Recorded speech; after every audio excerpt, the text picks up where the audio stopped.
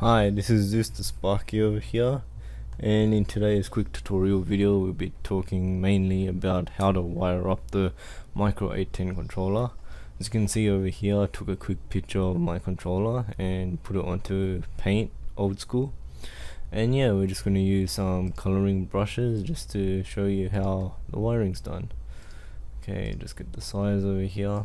Okay, so my model is 2080 LC10 12QWB, which is a 24 volt DC controller.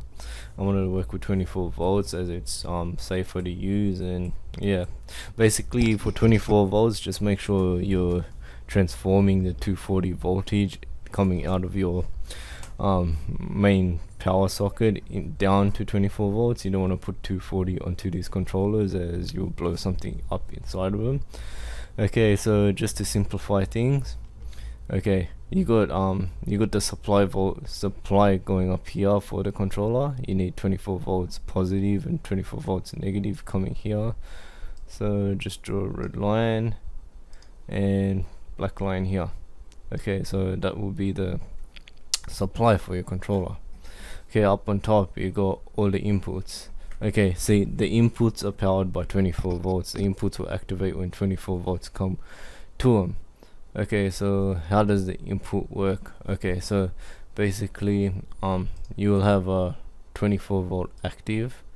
Okay write 24 volts here just so it then you'll be coming to some sort of switch um, whatever switch you want. It could be a push button switch. It can be um, it can just be a normal rotating switch.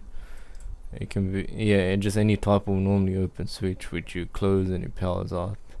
Or it could be uh normal yeah normally closed or normally open depending on what function you want to use. And yeah that comes into that comes into the input over here and as with every circuit it needs a return voltage to complete the circuit. So this is where the COM comes in. So this goes back to 24 minus 24 negative and you can share it with the supply voltage if you wanted.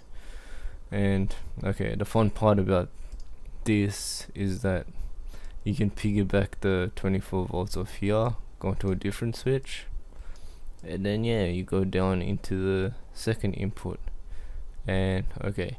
So the thing with this um this um neutral coming out of COM this covers for these four.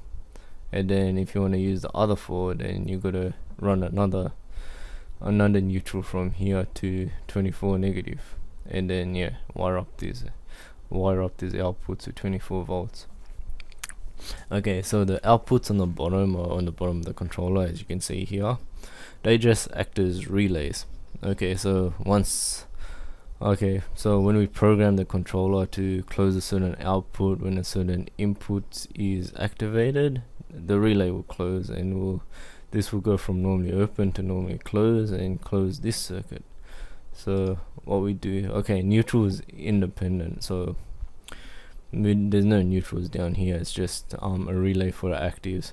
Okay over here it doesn't have to be 24 volts. We can go up to 240 volts for normal use.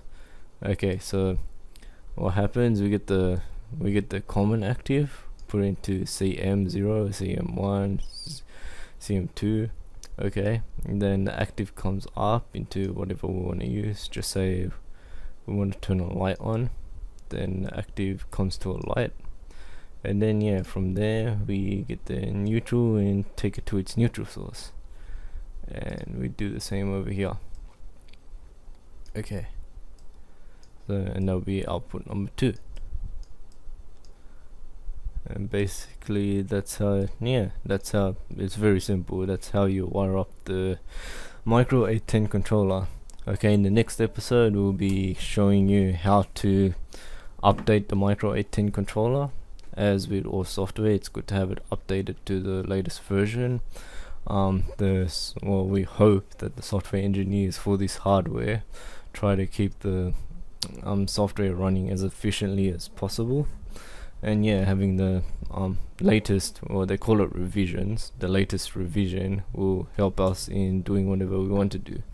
And then hopefully the next video after that will just be basic ladder programming. Okay so if you like these videos make sure you subscribe comment any comments you have below and of course hit that like button and share it with other people wanting to get into Allen and Bradley programming. Okay this is Zeus the Sparky. Um see you guys next time